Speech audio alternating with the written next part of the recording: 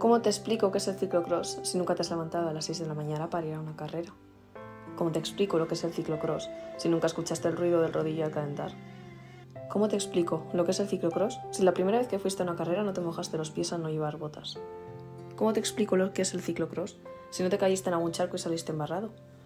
¿Cómo te explico lo que es el ciclocross si Luz Iglesias no te sacó una foto? ¿Cómo te explico lo que es el ciclocross si nunca has abrazado a alguien al acabar una carrera? ¿Cómo te explico lo que es el ciclocross si nunca has animado a Borja Gómez? ¿Cómo te explico lo que es el ciclocross si nunca viviste la carrera de casa como un mundial?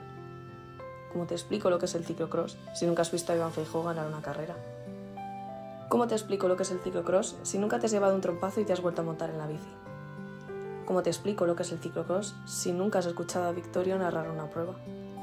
¿Cómo te explico lo que es el ciclocross si nunca has lavado la bici después de competir?